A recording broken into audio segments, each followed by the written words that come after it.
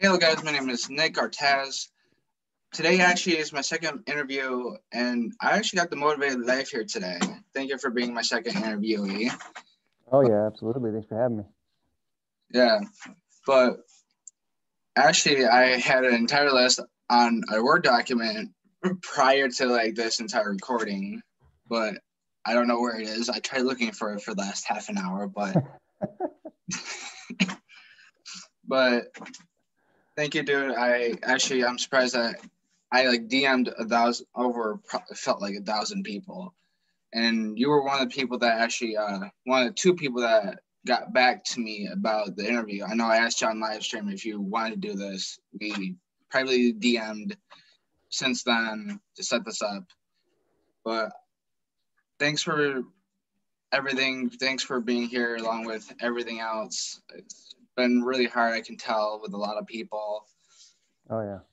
So yeah, man. Happy to be here. Yeah. So let's just get right into it. Uh, kind of like what I did last time. I'm gonna do ask almost the exact same similar questions that if my brain can remember them. and if my viewers, if you guys can tell, this is a different kind of area for myself because I was in the basement prior to this for the first episode. Now I'm trying to establish where I should be for the third episode. Part of the beta testing here yeah, it's in the beta testing. But uh, I guess what got you into social media technically? Oh, that's kind of a good question. I haven't quite had it phrased like that before. Um, I guess it's it's an outlet. You know what I mean? It's it's a uh, a way to reach out. I actually had kind of been off social media at one point for a long time because I didn't much care for it. I didn't really like what was going on on there. Um, but once I actually started getting my life together and doing something worth sharing, decided to jump back on and, and, you know, kind of share the journey I've been on. So it's obviously it's been a pretty awesome ride so far. I've had like a lot of good feedback and everything like that. TikTok's kind of been the main driver, I guess. I had like as far as social media goes, man, I had no intentions of ever jumping on there. I was just like, I don't know what this app's about. I'm still figuring it out, man. Like, you know what I mean? Like, but my little cousin, he's 22. He talked me into it. He's like, man, get a TikTok. I'm like, ah, I kind of want to figure out this YouTube thing. You know, I kind of want to figure out Instagram. And he's like, get TikTok. All right. Yeah. talk about YouTube and Instagram. Uh, you have 1.4 million on TikTok. Then you have mm-hmm. a little close to 9K on Instagram. Then on YouTube, you have 22.8K. Yeah. So technically, what like what was your very first social media platform or outlet was? Um, I think I signed up for Instagram and well, think I signed up for Instagram very first. And it took me a long time to get comfortable with vlogging, basically. So I have, I, I don't even know how many countless hours of footage that like will never see the light of day um, that I wanted to put on YouTube, but I was just like, I that, that was terrible. like I had squirrel syndrome now, but it was even it was just even worse that I couldn't couldn't do it, you know, and focus on writing and everything else. So it took me a little while to to get into YouTube and actually posting videos. And, you know, I was doing firefighting, so it was only just like a for fun part time like thing. And versus now where I'm trying to make it a full time gig, right? So, yeah. And here's a good question that most of probably your viewers, I haven't followed you for that long, so I don't know technically the, the background of the Deadpool themed uh-huh. bike riding, but what started you uh, doing Deadpool exactly? That is a good question, and yeah, it's kind of funny, man. Uh, I don't mind going over stuff over and over and over because I know people are new to the channel all the time. You know what yeah. I mean? And even if you put everything out, like most people only see a fraction of what you put out anyway. So, oh yeah, you know what I mean. So it's all good. But uh, Deadpool, why Deadpool? So, um, when I was a kid, I was like really, I have a very artistic side of my family, right? So if you've ever watched uh, Looney Tunes, my great uncle was Chuck Jones, who like all the original Looney Tunes says directed by Chuck Jones in the beginning. Okay. So hugely inspirational as far as like cartoons and like imaginary stuff and uh, just you know fictional comic books. I love to draw all that stuff. So that was that was big for me. Um, loved all the the Marvel, DC movies and everything else. You know what I mean? So yeah, got really into that. Obviously, felt kind of fell in love with Deadpool. But uh, but why why Deadpool specifically? One, he's hilarious. Let's face it. Um, oh, yeah. his, his like moral compass is a little questionable. You know what I mean? Which is kind of like something that resonated with me, I guess. Like deep down, right? He wants something good for the world. Like he's like, no, this is a family movie or this is a love story. And like, yeah. you know, it's got like the good values built into it. But at the same time, he's like kind of a mess. And like, I just feel like, you know, a lot of times my life has been an absolute mess, but I'm still big picture trying to do something good for the world. You know what I mean? Yeah. I don't know, just kind of sat well. yeah, and you brought me over in DC, and like I'm the exact same way. I Flash really stuck with me because back in seventh grade, I'm like now 12th grade now. So mm-hmm. this was like a few years back now, and I used to be a lacrosse player, and I could basically within five seconds go from one end of the field to the another, and basically everyone's like called me Flash, and I was like questioning like who is this guy? Like, and everyone's like look him up, look him up, and uh, my first live action uh, person that I've ever watched was Grant Gustin, and then the like I can't remember the guys that did Justice League a few years back, mm-hmm. but he really got uh, they really stuck with me. But Grant Gustin, I've watched since Glee days. yeah. Nice. A flash for you. Yeah, it's flash for me. And like we had some similar stuff. I'm actually the exact same way. I'm a vlogger, kind of transitioning into like interview type of styles, trying to stuff figure out my landscape for everything. Nice. Well, you said you're in what, 12th grade? Yeah, I'm in 12th grade. I'm turning 18 in February. Okay. Oh, nice. So what's the uh, what's the big plan there? I mean, this is obviously something that you're interested in, but I mean, what's the, you know, if you can snap your fingers and you're doing it for a living, what are you doing? How are you spending your life? Uh, basically, I'm just now flipping it over and over. I've been thinking about doing the Navy because a lot of my family were was in the Navy. Mm-hmm. So so I kind of flip flopping between YouTube, auto mechanics, and you like uh, I'm already losing my train of thought, but Navy mechanics and YouTube, and basically everyone's like, you know, stereotypical. I'm like, motherfucker, like, because I'm Latino, you know. Everyone thinks that, oh, I'm stereotyping myself. Uh huh. I'm like, so you uh, gotta stop with that Latino and fun fact, actually, I went to uh, I went to Dollar Tree last night, and coincidentally enough, that I was looking at my desk and I got black and red as Perfect. in Deadpool. yeah, I like the color scheme, man. yeah, but to get into like a more uh, personal, like not personal, personal, but like I had a few friends of mine DM me personally saying, "Oh, is this true?" I'm like, "Yeah." They said, I had one uh, friend that was like, "What's your favorite NBA team?" And another one was like, "I was like, what?" He's like, "NFL." So I guess NBA and NFL, if you had to choose two, or whatever teams. Favorite teams?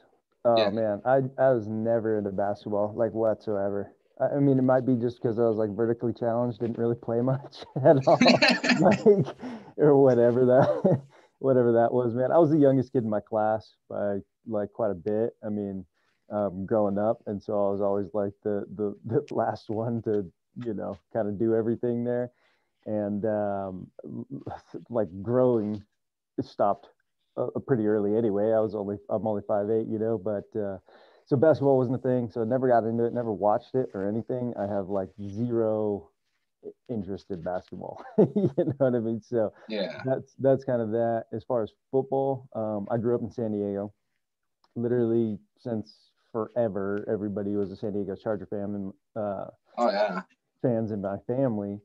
So that's what I kind of grew up um, in. But I kind of fell out of sports like a while back. I honestly just started a lot more of doing things and living my life in ways and spending way less time watching. Uh, like anything really, you know what I mean? I, don't get me wrong. I love going out to the bar, hanging out with the boys, having a couple oh, yeah. beers, watching some football, talking some shit, whatever, right? But uh, but I just I don't even follow sports anymore, man. just too, I know too into my stuff. you sound a lot like my brother. He's like, I rather go out to the bar, have a few beers with the boys, you know. And a lot of people are like that nowadays, you know. Like, mm-hmm. like I said, I'm 18. I'm legally underage for drinking. Mm-hmm. So like you know, like there's a few times I drink, and kind of my moral code is is that I won't drink, but there are some exceptions occasionally.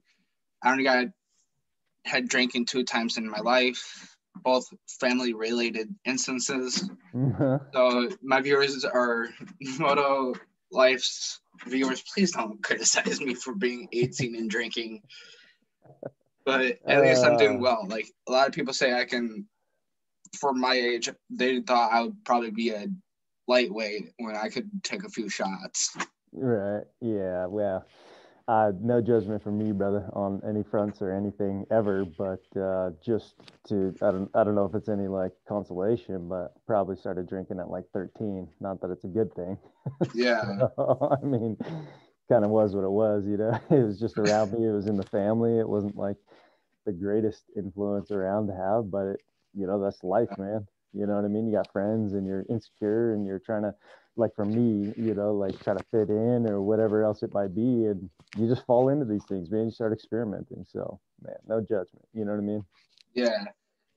For uh, me i actually a lot of my probably my viewers know by now because this kind of blew up on my channel blew up when it had already like 22 views I'm pansexual, and a lot of times that my first ever boyfriend I got with was when I was high on you know pot, and mm-hmm. a lot of people were like, "Oh well, sure happened," but what actually it so going on to like our another question what kind of is your light and day like what are your goals for your social media platforms? So I um I listen to a lot of personal development and podcasts and uh, you know audiobooks and everything. And every once in a while, I mean, I probably listen to an hour or two a day, like every day, man. I I I'm in the habit of it now, waking up and listening to it usually.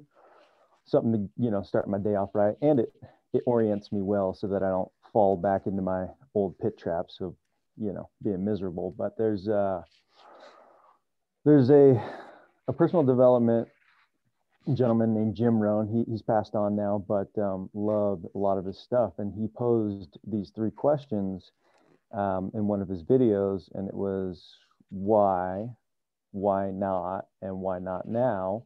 And he kind of breaks those down. But one thing that hit me so profoundly was he says, why not see how many people you can rescue from oblivion? And I thought to myself, like, wow, like what a fascinating orientation and, you know, um, goal to chase down because I know I've had things or people in my life that have helped me along my way. And I just like want to do that for others. Like I want to show that becoming the change is like what is you know real. So to me i want to like my journey is becoming the change and showing through leading by example um, what kind of effect that can have on you and other people and everything you know what i mean? So many people nowadays are out there and they're starting campaigns and they're doing this and they're getting their groups together and telling everybody else what they need to do and how they need to be and whatever else. Meanwhile their house is a mess. It's like clean yourself up, live your truths, you know, be who you want to be, and you want to make a change, lead by example, you know, not by telling anybody. If you've ever been in a relationship, you know it doesn't work when somebody says, you need to be like this. You're like, yeah. Oh, yeah. No. no, hell no. You can't change people. You can't, but you can influence people. So for me, like my platform is just a matter of sharing my journey, man, and who I am and what I want to do. And, you know, there's good days and bad days and everything else in between, and that's fine. But, you know, I want to show that, like, how to orient, like, how I've oriented myself and that it's made a huge like a profound effect on me and i think that you know it's kind of it's kind of becoming self-evident that it's helping others you know in a big way. And so that's i mean that's all i want to do man. It's just like at the end of the day like just help other people. I want to make people smile. You know what i mean? So that's the goal for me. Yeah and going back to uh, one of your videos uh, that i've seen like this was i don't remember the date but there was a kid that you met a day that the day that everyone was like everything in Cali was going like to smoke. Then the, the kid was on a bike, a black bike, and another guy was uh, screaming out your name, I think, and you said, "I'll pay for anything you want." Oh yeah. Yeah, that and seeing that I feel like with younger audiences, like uh, for yourself, for 1.4 million on TikTok, and so on and so forth on what you're growing right now, mm-hmm. I feel like a lot of people, like Charli D'Amelio, a lot of these people, they don't see, like, I feel like they can see, like, they're changing people, but not in a lot of us, I'm this is my opinion. I see that they want to change people negatively. Mm-hmm. They just want to get revenue from it. Right. They don't care what people think of them if they mm-hmm. like are simping or something like that. You, you want to change people to see, hey, there are some good stuff in life. Mm-hmm. And a lot of the time, even for myself, I was when I was younger. Fun fact for my viewers that I was at my darkest days that my girlfriend just broke up with me that we spent a year together my best friend killed himself i tried to attempt suicide three different occasions when i was like 13 mm-hmm. then i started watching people i saw that i had to have self-care mm-hmm. people like you that i want around to see like younger audiences believe hey there are some good stuff in life Like I saw it. Mm-hmm. Yeah. And like change, we had to change ourselves first. Like you said earlier, mm-hmm. change comes within ourselves, not within other people. Exactly. Exactly. You have to want to change too. You know what I mean? Like you tell somebody to do something and they don't they don't want to, they're not ready to. They're only going to get defensive. You know what I mean? So it's like you you know, there's nothing that we really control in life except for our own decisions. Like there's nothing. Everything is out of your control except for your choices. So, yeah. You know, within your choices, obviously, you have a, the ability to form your future to the best that's possible, right? I mean, just because you do something right every day doesn't mean that you're not going to get in a car accident and die tomorrow and never reach that goal. Like we're out of control of most everything, right? But if you can just, you know, like you said, man, just find a positive light to shoot for and make your choices oriented in that direction, then who knows what the outcome could be? You know what I mean? Who knows what the ripple effect is? You know, the the a simple kind act just ripples outward for forever potentially. You know what I mean? You could change somebody's life. And like you said in that video, you know what I mean? Like that was something that was I was doing a Venmo challenge. People had donated to that. So I had money to like do a kind do kind deeds for people. That all just happened to transpire on the day I hit a million followers on TikTok, and I was cruising, you know, bought that other uh, guy his gas for his motorcycle, ran into that homeless gentleman, and was just like, dude, what a perfect opportunity. You know what I mean? like yeah. the, universe, the universe said, hey, here you go, man. You know what I mean? And I have people, yeah, you know, saying stuff on my TikTok and everything like, well, whether it was for content or not, like it was still good on you and whatever else. And like the thing was, is I was doing this stuff before I was filming anything. You know what I mean? I was doing random acts of kindness for people. I was already hosting a scholarship at my high school for several years. I, you know, helped found a nonprofit organization for veterans and all these things that nobody will, you know, has ever seen. And so for me, it's like, you know, there's nothing about this that I want to um, impress anybody. Like it's not about me, you know, it's like I want to impress upon people that there's a you know a better way of life or a different way of life we'll say for that has worked for me. And it's through kindness and you know giving back and helping others. So i just i'm all about spreading that yeah you know what i mean? Yeah.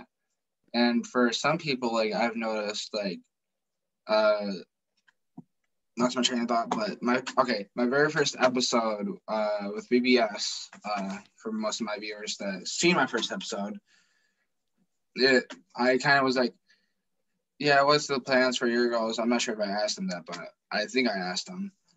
But he was basically saying that, oh yeah, blah blah blah. blah. I just want to do the random acts of kindness for some people. Mm-hmm. I think I asked him after recording. I'm not exactly sure but I asked, yeah, it was after the recording. I was like, hey, what's your plans for the future for your content? And he's basically saying, oh, I want to do this, this, and this to help other people see the light in the day. Mm-hmm. So, with like kind of wrapping this up, is there any questions you want to ask me before we decide to end this recording? Yeah. So um, as far as you know, this this interviewing thing, because this is actually something that I'm interested in jumping into as well, starting to do podcasts, interviews, stuff like that with other content creators and and everything like that. Um, what's your goal, man? Try to influence other people to for the brighter day, like we kept on saying. See that where I had left off years ago because I was six at that time. Like it was, I was very young when I started kind of YouTube when YouTube was just blowing up, mm-hmm. and I can see the change in myself. I can ch- see the change in my personality over time, mm-hmm. and I think my at first I just wanted the money now I want it's now not the money is to see that I can put positivity in the world and positivity into everyone else. And I guess just let people decide if they want to go through with their plans in life or change your plans otherwise. Mm-hmm. So, is there anything else you want to say or questions you want to ask me? Just as far as uh, I'm intrigued as far as your um, auto mechanics goes because that was something that I had pursued when I was younger quite a bit and went to college and took some classes there as well. And I mean just still to this day love doing it. So what's uh what's your big I mean what do you like about that? What are you into as far as that goes? Uh for myself actually I I want like I was at the age of like 15 I wanted to at least. I have my father, my uncle, and a bunch of other families that even I heard of that are into cars. They're car mechanics. I just like working on cars, and I have a car mechanic simulator, which I actually do use frequently, occasionally. Mm-hmm. I have the chance to. That's pretty dope. What are you uh, What are you into as far as cars, trucks, motorcycles? Uh, what do you like? I guess uh, for myself, I'm into like exotic cars, but also trucks as well. What's the dream? Uh, a lot of people say Bugatti and Lamborghini, but my one fantasy car is like I feel like this car is really underrated. The R35 Nissan GTR.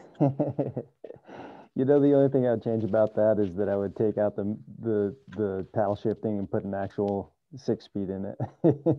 I do a conversion because um I love. I know it's not going to shift as fast. I, I know there's like, trust me, I know, but I love the R30. The Godzilla, man. Who oh yeah, the R thirty four though back like when uh if you're into Fast and Furious, the R thirty four on Brian's car. Yeah. That was sick, and I want to have the exact same model and exact same decals and stuff. Yeah. Oh hell yeah! I don't even know what I would lose it to have one of those. I, I want the R thirty four and R thirty five for sure. Um, I, not like there's anything wrong with 33s, 32s, but uh, I yeah. just yeah, I have a tendency to lean towards those other ones. But man, out of out of any car, you going for a Nissan, huh? yeah, a lot of people say, "Why don't you want a Lamborghini?" I'm like, dude, yeah, I want a Lamborghini Aventador one day, but I want my very first car to be, at least be like a Ford GT Mustang or Nissan GTR. my, my brother actually found like he's got a Shelby GT 500 Mustang.